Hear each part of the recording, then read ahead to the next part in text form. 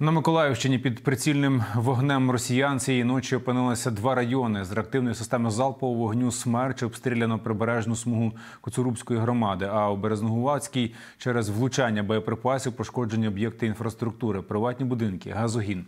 Постраждалих немає. Гучно було цієї ночі і в самому обласному центрі. Яка там ситуація? Матеріалі наших кореспондентів. Перші вибухи цієї ночі у Миколаєві пролунали після опівночі.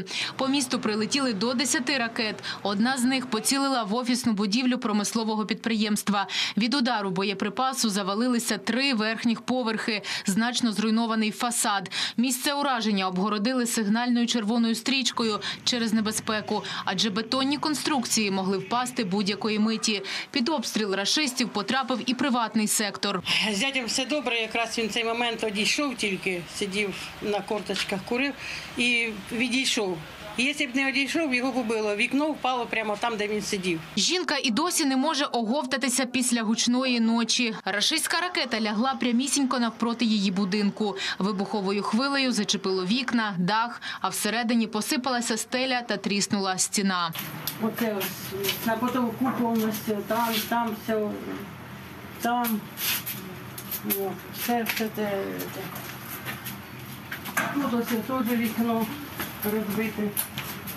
Воно на вулиці повністю, все вікно розбите повністю. Все. Страшно це не те слово. Сразу було вроді би, а потім після е, цього, після е, цієї господи, тривоги, зять хотів бігти в підвал. І не встиг побігти, як все це почалося те саме, і все. І вже нічого ми не пам'ятаємо. Все.